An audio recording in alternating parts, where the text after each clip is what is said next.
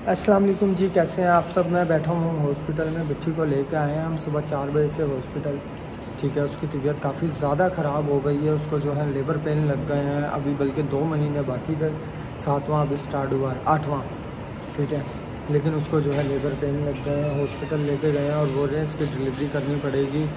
और बेबी जो है बहुत ही मुश्किल है उसको आगे पालना ठीक है। उसको दो महीने तकरीबन शीशे में रखना पड़ेगा।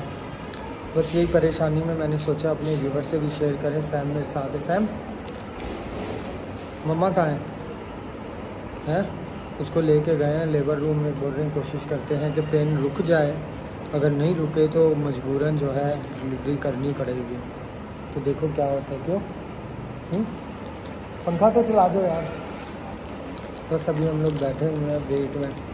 बस ये छोटी सी वीडियो बनाने का एक ही मकसद था कि जो है ना आप लोग दुआओं में सोनिया को याद रखिए दुआओं में सोनिया को याद रखिएगा और जो भी हो, खुदा की मर्ज़ी से हो और बेहतर हो। बाकी सैमी को मैं साथ ले के आऊँ सैमी? सैमी जो है शर्मा रहा है। बाकी मैं परेशान हूँ, काफ़ी ज़्यादा अल्लाह खैर करे।